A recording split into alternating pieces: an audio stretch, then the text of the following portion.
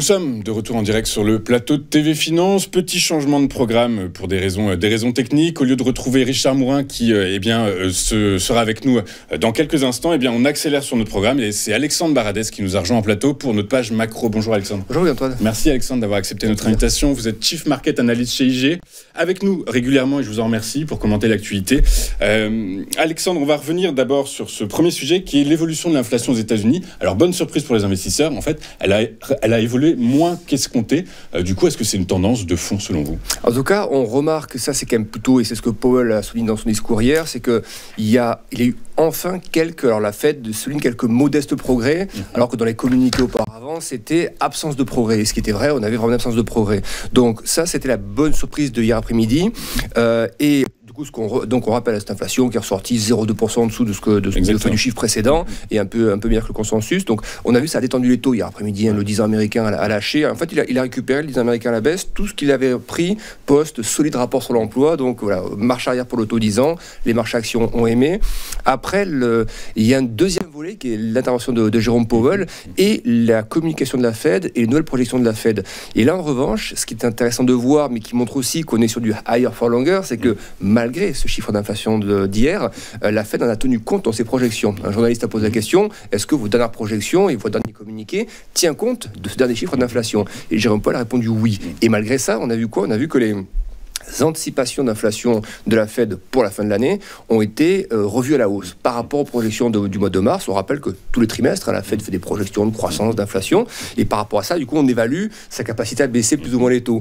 Et donc là, on voit que par rapport à l'estimation d'il y a trois mois, ben, l'inflation euh, a été, relevée en termes de perspective et du coup ça enlève, ce qui est quand même pas rien, deux baisses de taux cette année. Il y avait trois baisses de taux toujours anticipées au mois de mars par la Fed. Désormais, les membres de la Fed en moyenne, le comité, prévoit une seule baisse de taux. Une seule baisse de taux. C'est complètement nouveau et ça risque d'être une baisse de taux à la marge. C'est-à-dire qu'il ne faut pas s'attendre à 50 points de base de baisse. Euh, encore, une fois là-dessus, il faut, faut, être, je pense que c'est modeste parce que je pense qu'on s'est beaucoup tous trompés sur la vitesse de l'inflation, sur l'antissement ou autre. Mais disons que dans le scénario et le, marché qui est toujours à s'adapter finalement aux derniers chiffres, aux dernières moutures d'informations de chiffres, eh bien, cette dernière mouture, elle est quand même plutôt OK. C'est-à-dire qu'on ne peut pas considérer que cette communication globale de la Fed était euh, plutôt accommodante ou autre. C'est on garde le cap. Mm. Euh, Jean-Paul dit, en plus, il laisse un peu le marché dans le flou en disant je ne vous dis pas en gros combien il, me faudra de, de, bonnes données sur l'inflation, donc combien de mois consécutifs il me faudra euh, pour déclencher la baisse de taux.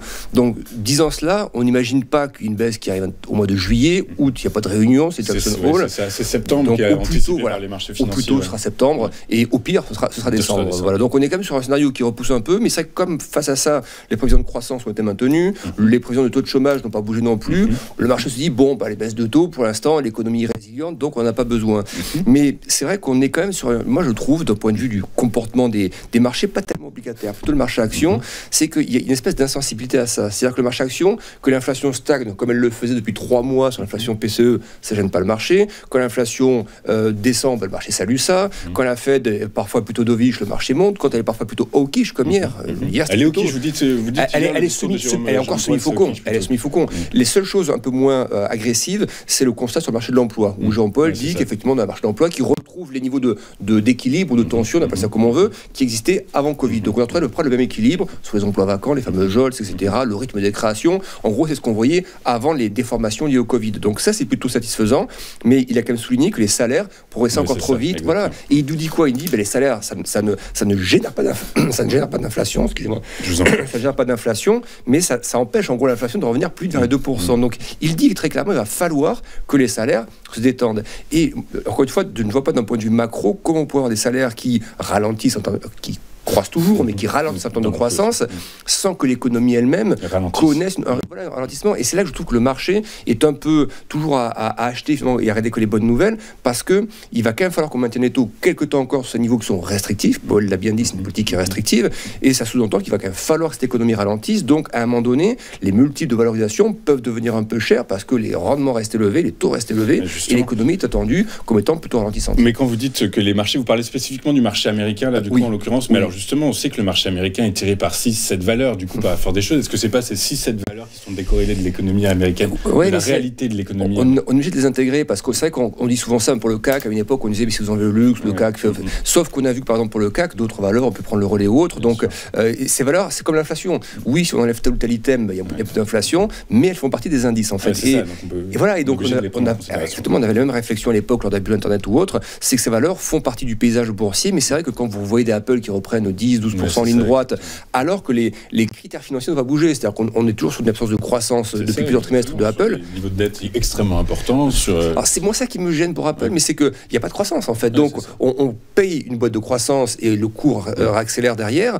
Euh, alors on sait qu'il y a des buybacks qui sont importants, 110 milliards ça peut compter aussi, mais c'est un peu perturbant de voir que le marché continue d'empiler finalement sur, des, des, noms sur lesquels il empile depuis des années, alors même que certaines d'entre elles ont des, niveaux de croissance qui ne sont plus de niveaux de croissance simplement. Donc pourquoi continuer à avoir des multiples de valeurs de croissance C'est ça, le, bon d'Apple hier, je crois que c'est en partie dû euh, bah, toujours à l'intelligence artificielle en fait. C'est ce sujet-là qui, qui, tire, qui tire le, les, ces valeurs, les marchés, les marchés actions américains dans leur, dans leur ensemble vers le haut. Hein, du coup, oui, et ça c'est quand même très propre au marché. Il y a quelques indices. Hein. Si on prend par exemple le Dow Jones, on ne peut pas considérer qu'il y a le niveau d'excès. Si vous prenez le Russell 2000 non plus, les small cap, pour en Europe non plus, pas seulement le thème français, on en parlera peut-être, mais la plupart des indices européens connaissent des phases. Regardez le MIB italien, ça fait 4 mois que le MIB italien est consolide. Donc beaucoup d'indices savent consolider. on a l'impression que sur les marchés américains, il y a toujours une espèce de côté comme ça, un peu obsession de certaines, comme vous l'avez dit, certaines grosses valeurs qui empêchent ces consolidations. Et, on sait qu'une absence de consolidation sur la durée n'est pas saine. Mm. Il faut à un moment donné que le marché se pose. Sinon, ça fait quoi? Ça fait des, des rallyes de 100%, et derrière, vous avez des moins 30 et vous repartez. Mieux vaut, et le Nasdaq a su le faire à une époque, ça. Hein. Entre 2015-2016, on avait connu 15-16 euh, mois où il n'y a pas de crash, où de, le marché oscillait. avec des variations de 15% à peu près.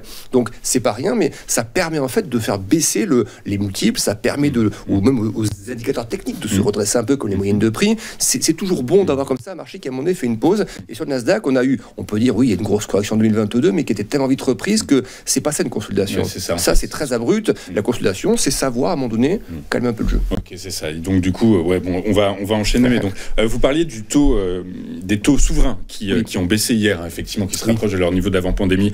d'avant pandémie.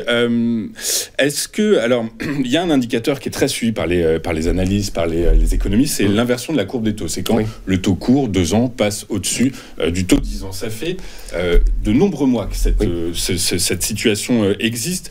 Est-ce qu'on peut dire que c'est un indicateur qui bah, n'est plus fiable maintenant? Alors, d'un point de vue historique, si on regarde le track record de cet indicateur, c'est inversion, on passe sous zéro et après repentification quand il y a à nouveau désinversion des, des taux. Euh, historiquement, dans 90% des cas, vous avez une récession. À chaque fois, les grosses inversions et les repentifications ont généré une récession. Euh, la, deuxième question, c'est est-ce que c'est grave pour le marché? C'est-à-dire que finalement, si la courbe s'inverse et se repentifie, est-ce qu'à chaque fois le marché s'est cassé la figure?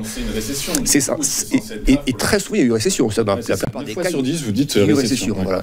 Et, mais il y, a, il y, a, des cas où effectivement la repentification se passe très mal. C'est inversion repentification. Vous avez, ben, c'est la bulle internet, c'est la crise des suprêmes. Donc là, évidemment, on connaît le résultat. Il y a un exemple quand même dans les années 90 où on a eu une inversion de la courbe de taux, une repentification, une récession. Donc la contraction de l'économie américaine était de 1,5% donc, euh, sur la période. Donc c'est quand même une contraction qui est assez sensible. Et pourtant, sur cette période-là, entre le, le, point bas de l'inversion de, la courbe de taux et le point haut de la repentification, tout ce cycle-là, le, S&P a pris 40%. Pourquoi? Parce qu'il avait chuté le marché, surtout en 87, c'était le choc obligataire, le, gros stress, la fameuse, la fameuse journée de, de, 87. Et donc le marché, finalement, avait déjà purgé un peu sa, crainte à ce moment-là. Et derrière, euh, une fois qu'il avait corrigé, bah, le, schéma haussier s'est remis en place. Et je trouve que ça fait un peu penser qu'à ce qu'on a eu là. Eh oui, 2022, c'était le, le, stress, l'anticipation de, de, redressement de taux très fort ou autre. Il y a eu des, des, thématiques géopolitiques ou autres aussi, la Chine également. Mais le, gros dégazage, on l'a quand même eu euh, en 2022. Donc je pense qu'on peut effectivement avoir cette façon de repentification qui soit, je ne dis pas qu'il qu se passera de nickel sous la ligne, mais je pense qu'il n'y aura pas les conséquences des subprimes ou de la bulle Là, actuellement, le scénario, c'est plutôt un scénario d'inversion de la courbe des taux favorable au marché financier du Oui, je, je, pense que c'est, encore une fois, ils sont déjà tellement aussi les marchés américains qu'on ne peut pas imaginer qu'ils fassent encore 50% en ligne droite, mais je pense que au pire, ça parlera de la consolidation. Voilà, ça n'appellera mm. pas à des euh, moins 50% comme, euh, comme en 2007-2008. voilà. clair. Ok, merci. Euh, du coup, on a effectivement vu que les taux, les taux l'ont baissé. Qui bénéficie de la baisse des taux aux États-Unis? Alors, la baisse des taux, on le voit, on l'a vu hier, par un très bon exemple hier, quand d'un seul coup le, le, chiffre d'inflation a été publié, le plus gros rebond, mm. c'était sur les small caps. L'indice Russell 2000, que, hein, que tout le monde connaît, qui est ce gros indice de, de, 2000 valeurs small et mid américaines, c'est typiquement ces valeurs-là qui bénéficient d'un environnement où le dollar se détend un peu, où les taux se détendent un petit peu, parce que ce sont des valeurs qui sont plus, qui sont plus sensibles aux conditions de financement, qui sont plus sensibles à l'aspect change, euh, qui ont parfois plus de difficultés à se couvrir aussi, comme les grands groupes peuvent le faire ou autres. Donc voilà, c'est typiquement ces valeurs qui bénéficieront euh, d'un environnement de détente future des taux aux États-Unis. Et est-ce qu'on peut faire un parallèle entre le Russell 2000 et le CAC Mid and Small, où euh, il n'y a pas vraiment de comparaison Par phase, par phase. quand, une journée, si par exemple vous avez des, bons chiffres d'inflation en euro et des bons chiffres d'inflation aux US, mm. oui, voilà, l'ensemble fait que les taux en Europe et aux États-Unis se détendent. Et là, généralement, le, CAC Small euh, performe aussi. Mais après, il y a quelques thématiques sectorielles qu'on a en, en, Europe, qu'on a plus aux États-unis, par exemple. donc il y a quand même des grosses différences. les, banques régionales, par exemple. Exactement, Le risque bancaire aux États-Unis qui est mm. effectivement toujours présent et qui, euh, a priori, n'est pas, ne se reflète pas, ne se retrouve pas en Europe. Euh, on va basculer sur un tout autre thème. Vous le savez, depuis euh, l'annonce de la dissolution de l'Assemblée nationale par le président Emmanuel Macron en fin, en fin de semaine dernière, les marchés financiers ont, ont surréagi. enfin, vous allez me dire s'ils ont surréagi ou non. En tout cas, le risque politique s'est clairement matérialisé sur les marchés financiers. Est-ce qu'il y a une surréaction des marchés? Non, alors je trouve au contraire que la réaction est, est assez modérée. Il y a réaction quand même. C'est-à-dire que si on doit qualifier ça, ce n'est pas non-événement, parce qu'on a quand même vu des, des taux s'écarter avec l'Allemagne à des niveaux qu'on n'avait pas vus, qui ont même dépassé les niveaux de 2022-2023. 65 sur le spread Voilà, c'est ça. Donc, euh, on est revenu sur les niveaux qu'on avait touchés la dernière fois lors de la crise Covid. Donc, c'est comme, il s'est quand même passé quelque chose, mais à 0,65% d'écart entre les deux taux, c'est pas les 1,90% d'écart qu'on avait en 2011 au moment de la crise de la dette. Donc, c'est ça la panique, ce serait d'aller au-delà de son point de base ou autre. Hein.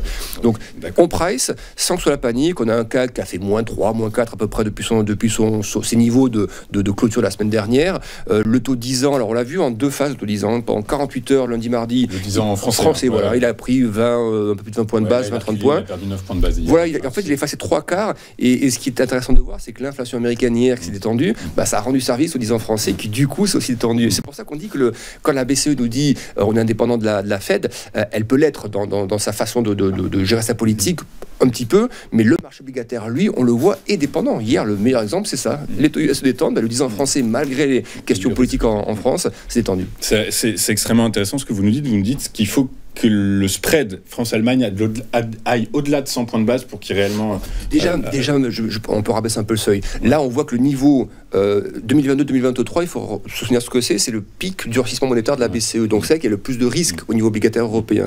Donc si face à ce gros risque, on a, on a touché des niveaux à 0,70 à peu près, si on commence à monter de ce niveau-là, donc je dirais que 0,8, ça commence à devenir un niveau où ça commence à chauffer un peu plus. Quand même, voilà. On est approché, hein, 0,65. Voilà. voilà. Et on a vu dire que le CAC 40 il tapé des supports à ce moment-là d'anciennes obliques. Donc c'est des niveaux quand même, voilà, le niveau clé pour moi il est plutôt vers 0,8 pour commencer à parler de, de, de, situations qui chauffent un peu plus. Et euh, est-ce que alors est-ce qu'il y a des secteurs à éviter quand on, un risque politique se matérialise? Est-ce que tous les secteurs d'activité qui ont un lien de près ou de loin avec euh, avec le, gouvernement par des contrats euh, des contrats mm. commerciaux, est-ce qu'il faut peut-être C'est ce qu'on a vu en tout cas là, c'est ce qu'on a vu hein. dans la gradation de, la du risque. Mm-hmm. Le pire c'était pour les banques parce que pour ces questions là, c'est des craintes liées à la croissance, à la dette nationale, à, la, à la politique de budgétaire ou autre. Donc les banques qui traînent en premier, c'est logique. Deuxième rideau, vous avez tout ce qu'on appelle les utilities, c'est-à-dire justement ça, mhm. le gaz, l'électricité, le enfin pas les compagnies d'autoroute qui sont pas forcément dans cette catégorie-là, mais qui font quand même partie des valeurs mhm. qui sont dans le scope du, programme du RN. Exactement. Euh, Donc c'était les deuxièmes plus grosses baisses. Et après, en troisième rideau, vous aviez tout ce qui est société commerciale, notamment export, les boîtes de luxe, ce genre de choses. Où on a vu également, ben, on, sait, on sait très bien que le programme, si le programme était appliqué, c'est on met des si partout parce que il y a le programme et puis la réalité derrière. Si toutefois ils, ils arrivaient à accéder au pouvoir, euh, quelle serait la réalité commerciale par rapport à la Chine, par rapport à pays, certains pays voisins européens? Donc, les, les valeurs commerciales export ont aussi un peu baissé. Voilà la, gradation des, du degré de, de, baisse. Ok, très clair. Merci, merci Alexandre pour ces précisions. On va euh, finir sur, euh, sur le marché du cuivre. Alors les cours du cuivre qui font mm. du yo-yo extraordinaire, et qui ont atteint des plus hauts il y a sept semaines, qui là atteignent des plus bas de cette semaine. Du coup, Alexandre, qu'est-ce qui se passe? Est-ce que c'est le marché chinois uniquement qui tire les prix Pour moi, c'est beaucoup ça. C'est-à-dire qu'on a vu, il y a eu deux phases, mais une phase qui était plutôt quand même vertueuse. C'est-à-dire qu'on a vu les matières premières il y a quelques mois, jusqu'au pic qu'on a touché sur le cuivre. On a aussi aussi sur l'aluminium, des mouvements Mhm. intéressants. Sur tous les métaux industriels, c'est parti à la hausse. Et ça se faisait en même temps que le marché chinois, le marché action notamment, euh, se redressait, le Hang Seng. En même temps que le marché obligataire chinois s'améliorait aussi, notamment le high yield, celui qui est le plus risqué. Euh, et en même temps que la Chine envoyait des statistiques pas, pas trop mauvaises, Ouais, des PMI ça. manufacturiers ou services également, une balance commerciale qui montrait des importations un peu plus, un peu plus fortes. Donc euh, c'était vertueux. Et on a vu que les- la hausse des métaux n'a pas fait peur en fait. hein. Même si on atteint des 10 000 dollars et quelques sur le cuivre, ça a accompagné un sentiment vraiment plus positif sur la Chine. Donc après, je dirais que la respiration qu'on a actuellement, qui peut être un peu costaud quand même, euh, je ne crois pas du tout qu'on puisse retomber sur les niveaux qu'on a touchés par exemple sur les plus bas de 2022 ou autre. Euh, pour moi, c'est plutôt des, des creux et les investisseurs qui aiment bien les matières premières par exemple, qui aiment bien travailler sur des, des choses plutôt moyen terme, ces creux euh, sont plutôt à acheter qu'à vendre. sont des- sont des points d'entrée Voilà, je pour crois pas du tout que ce soit des niveaux, sauf, sauf vraiment une, une erreur d'appréciation, mais je crois pas que le repli du cuivre actuellement et de certains métaux signifie que la Chine repart dans ses, dans ses, dans ses craintes, dans ses, il y a beaucoup de mesures de soutien, on voit que le pouvoir est quand même assez attentif à pas mal de choses, donc je, je dirais que c'est plutôt une opportunité d'achat sur des creux, mais attention quand même que on va pas remonter à 10, 12 000, 13 000 d'un coup, c'est-à-dire que c'est possible qu'on ait du range comme ça, mais les creux me semblent peut-être plutôt achetables vu les besoins qu'il y a sur ces métaux-là pour la transition, pour plein de choses, euh, pour l'électrique et autres, c'est euh, ça que ce soit ça ou l'argent ou tous les métaux industriels qui sont liés à ça, je pense que c'est pas mal d'acheter les creux sur, ces- sur les métaux. Ok, très clair. Bah, écoutez, merci, merci Alexandre euh, d'avoir euh, été avec nous ce matin. Vous êtes Chief. Market Analyst chez IG, avec nous régulièrement. C'est un plaisir. Merci beaucoup. Et euh, bien écoutez, on vous donne rendez-vous très bientôt hein, pour euh, de nouveaux commentaires de l'actualité. De notre côté, on marque une courte page de publicité et comme promis, on retrouve Richard Mourin et ses Market Movers dans un instant. À tout de suite sur Téléfinance.